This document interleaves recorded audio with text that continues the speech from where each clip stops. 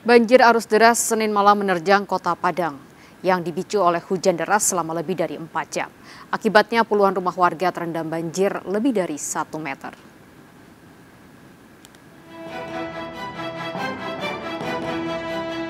Banjir bandang melanda kawasan Batu Busua, Kecamatan Pauwah, Kota Padang, Senin malam. Derasnya arus banjir menerjang pemukiman warga dan merendam puluhan rumah di pinggir aliran sungai Batu Busua. Tim SAR gabungan dikerahkan ke lokasi untuk melakukan proses evakuasi warga yang terjebak banjir. Satu persatu warga yang terjebak dievakuasi petugas ke lokasi yang lebih aman. Warga mengaku sempat panik saat banjir tiba-tiba terjadi dengan ketinggian lebih dari satu meter. Ibu kan di dalam rumah, ah. jadi airnya meledak, meledak gitu. Jadi nggak sempat lari keluar. Jadi ada yang warga ini yang naik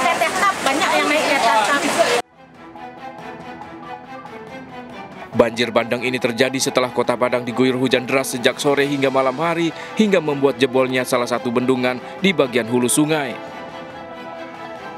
Sebanyak 20 orang warga di antaranya lansia dan balita diungsikan ke bangunan sekolah dasar. Saat ini masih 20 orang kita masih kita keluarkan. Dibawa ke mana Bang? Rencananya di SD 29 sebagai pengungsian sementara. Kondisi terakhir seperti apa Bang? Untuk saat ini uh, informasi yang kita dapatkan uh, bendungan dari lokasi di sini ada yang roboh. Jadi itu yang membuat air menjadi deras yang masuk ke dalam komplek perumahan warga di sini. Tak ada korban dalam peristiwa ini, puluhan rumah warga dan bangunan terendam dan rusak akibat terjangan banjir bandang.